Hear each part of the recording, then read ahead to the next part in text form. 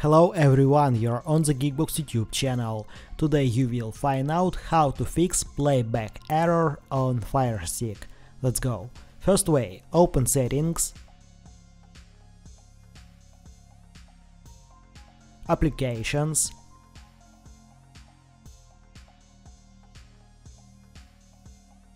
manage installed apps.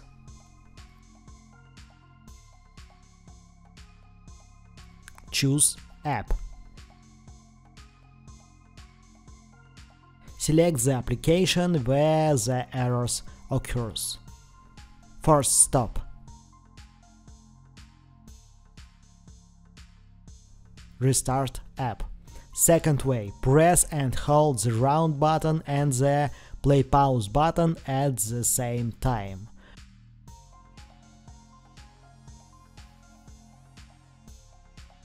Wait for the Fire Stick to reboot.